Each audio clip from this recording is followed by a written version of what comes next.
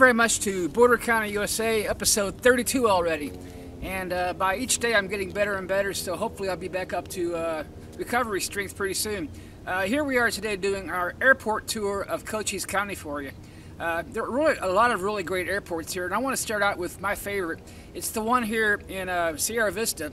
It's actually within Sierra Vista claim limits, and the terminal here is operated, I think, by the city.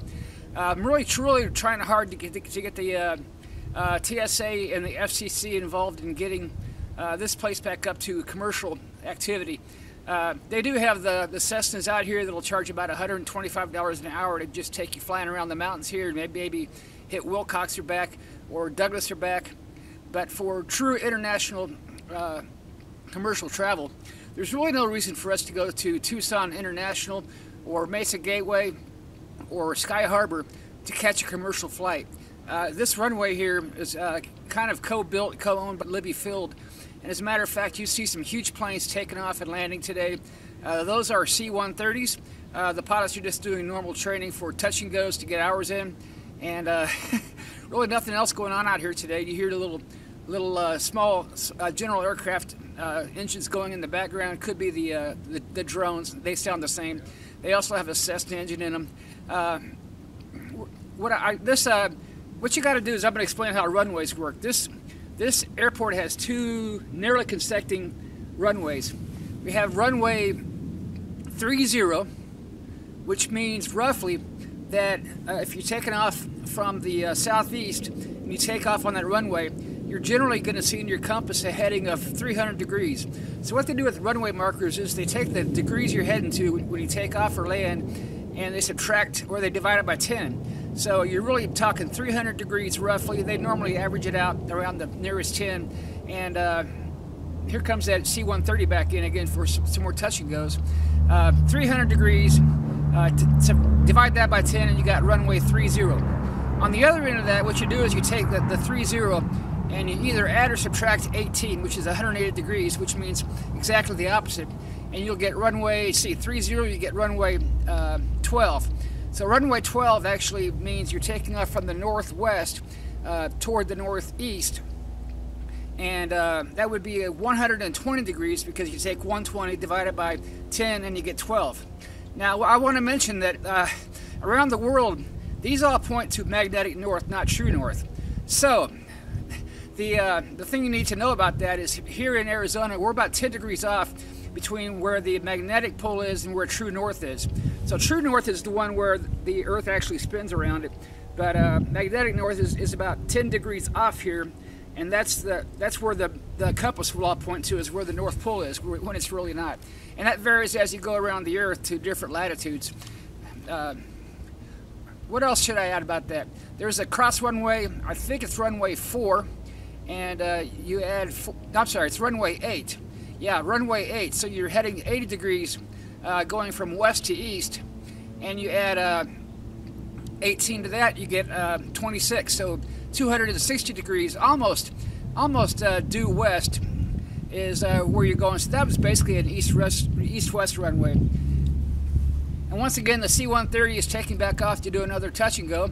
And uh, this is really a great airport. they have, like I said, we took it to, to uh, back in August. And uh, I don't think that it, it, appeared on Border County USA. I think it was on the Sullivan's Project's mid-month review. But we showed you the airport there, and it has a really, really cool hangar, but it only holds two planes. Well, this facility here has lots of hangars that have lots of planes in them. So that's how that goes. And as you can see, we get all sorts of citations and uh, other twin-engine larger uh, planes here that aren't jet. Maybe they're turboprop. But uh, we, we could land Air Force One here on this runway, for sure. And uh, one thing I'll really be working with the Airport Commission Division of the City Council with is to really, really, really try to lobby uh, all the people involved to get commercial air traffic back in here. Because even if it's just a, a joyride from here to Sky Harbor to catch a connecting flight, it's well worth the investment, and I bet you it'll fill up for, for all the people in this town that are coming and going from Sierra Vista. So uh, we get some scheduled airlines in here and uh, turn this place into a real airport, and we'll be in business. It's probably the only one in Sierra, in uh, Cochise County here in Sierra Vista that can actually uh, go commercial. But uh, I say let's do it. Uh, it, it, you can get to Tucson International one way for about $75 from here using Danielle's great Huachuca shuttle service. I really think people would invest about a hundred or so just to get right over the mountains here, uh, straight to TIA or a trip up to uh, uh, Phoenix. And I, I, think it can be a, a two-way street. I think you just schedule this twice a week, maybe daily even. Uh, one trip going up to deliver passengers and another trip to pick up passengers and bring them back down here. Very doable.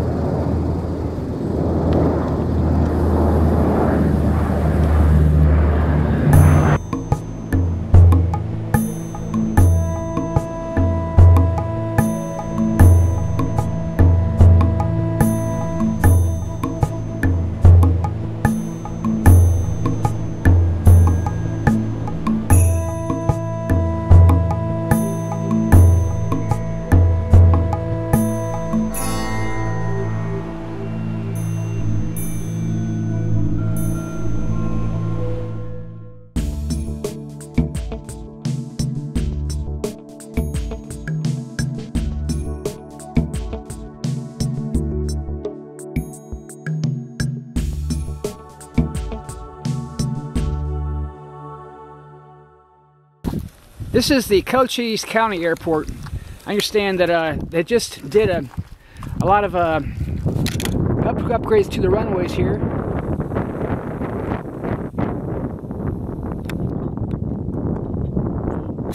And it's one of the two airports that Cochise County actually runs. A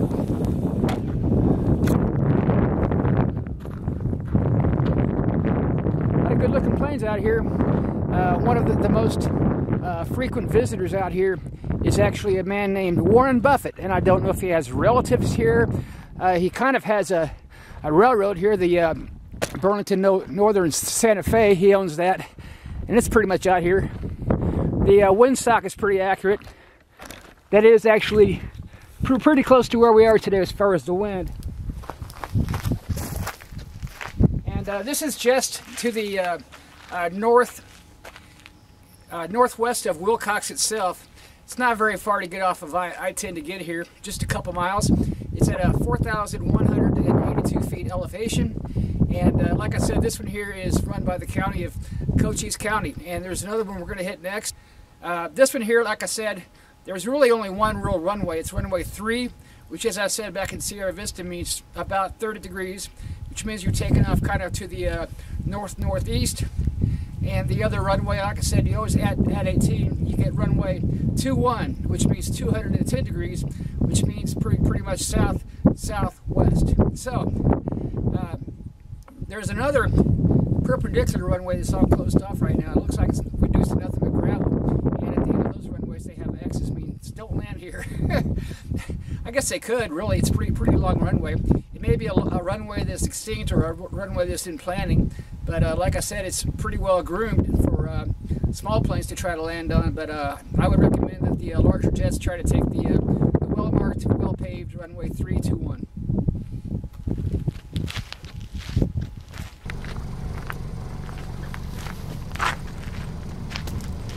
Well, ladies and gentlemen, we're jumping off of the I-10 going westbound and heading down uh, 191 down to the Douglas area. I did speak to the terminal director here at the uh, Cochise County Airport, and uh, she said, first of all, if I have the uh, ear of Pat let him know that they really need a lot more money to, money up here at the, this airport. There's a lot of rich people up here. He, she's already said, like I like I said, and uh, it's a pretty well-used airport, but they're way way uh, underfunded. I asked her what happened to that other runway that just had X's on the end. She says, uh, no, it's not planned to be open. It was actually open at one time, and due to county maintenance, it was closed. So that makes sense. Uh, what else? Uh, as far as the uh, FAA or TSA funds that went into the runway, she said uh, more, more than likely that was the BDI airport, not hers. So uh, I can tell it's struggling up, up, up here at this airport.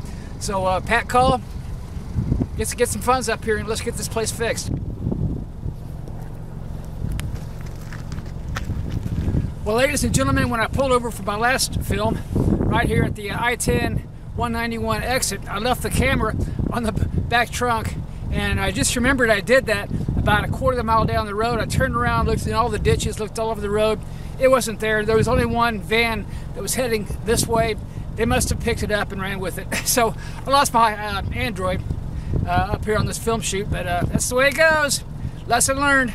Well, guys, we've already passed through a lot of different towns through here Elfrida, Sun Sites, uh, Kansas Settlement, uh, one just right here, just north of the airport. I've actually hit Davis Road. I was thinking about uh, canceling BDI today, uh, but I'm going to go ahead and make that one. I'll be, I'll be late for the city council meeting though. Well, guys, we're here at the uh, famous BDI. It stands for Bisbee Douglas International. And funny enough, uh, it's about eight miles north of Bisbee, about nine miles north of the border, and nowhere near Bisbee. which is way over there. So not really a whole lot to see here. The runway here is actually geographically straight east and west and about in the middle it tees down to straight north and south. But I know it's about 10 degrees off. It's a kind of an interesting airport. Very kind of, a lot, lot of old buildings out here. And this is the other one run by the county. So, I think this is the one that had, had all the runway work done to it recently. You'll see F-16s come down here and train once in a while. Matter of fact, one was lost out of here about two or three years ago.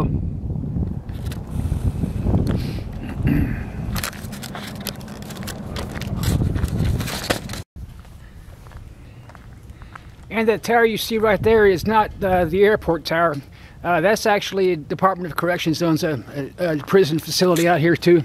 So this is a, the USDA actually has a, an operation here. So a lot of different people operating out of here. So that'll do it for the famous BDI, the uh, Bisbee Douglas International. And down there is the, the, the, mountains of Mexico, so we're pretty close. Well, here we are looking back at Douglas and the mountains of Douglas. And I really do want to uh, make a trip out there to the uh, mountains east of Douglas out to the border. And uh, here the other way, we have, we're on Double Adobe Road. It's a really nice road. And here the other way, we have the mountains of Bisbee, Arizona. So uh, we're going to miss that Bisbee Airport today because of time. Really wanted to do catch that city council meeting tonight. So we'll just pass on through Bisbee and catch the city council meeting.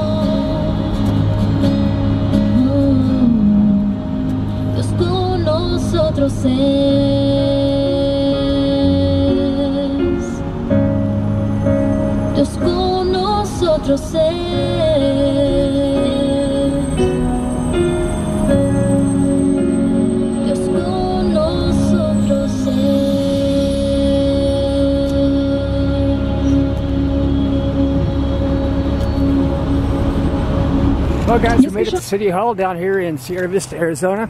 Uh, there should be a city council meeting about 10 minutes al- already in progress. Hit some bad traffic on 92. We knew there was construction going on, but uh, yeah, it, it was kind of ri- ridiculous. but but uh, we're, we're here, so we'll here we'll be here to see most of it. Uh, once again, this is the last city council meeting for uh, Miss Ash, Mr. Blanchard, and Mr. Mount. So we'll be here to say goodbye to them and hopefully see the uh, three new ones here tonight as well. So here we are in Sierra Vista at the mall trying to get this uh, old phone that was lost and then found, kind of sort of, reactivated. And so instead of showing you the uh, city city council tonight, we'll be showing you some uh, really cool uh, Christmas lights set up around here, maybe even more next week. So thanks very much for watching episode 32 of Border County USA, have a great night. God bless. One other thing, guys, a really a great shout out to these guys at T-Mobile here in uh, Sierra Vista, Arizona. They always find some way to hook me up, and they hook them up themselves up too. But uh, very good service here as always. And once again, uh, kudos to uh, T-Mobile of Sierra Vista, Arizona, down here at the mall.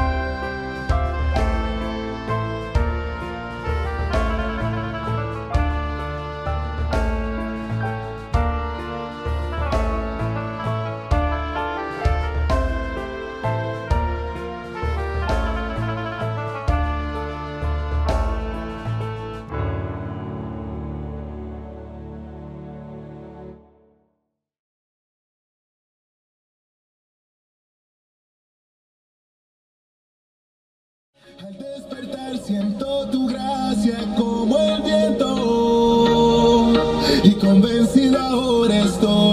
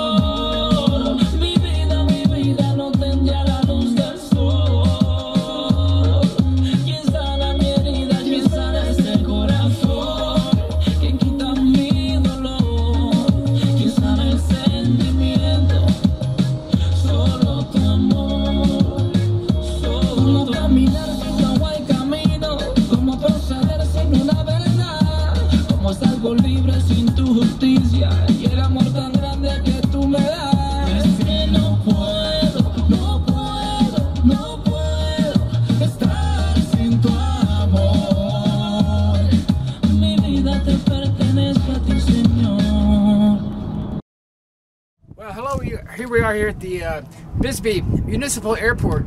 Uh, I decided to tack this on because I had time, extra time to come out here today and do this as part of episode 32 of Border County, USA.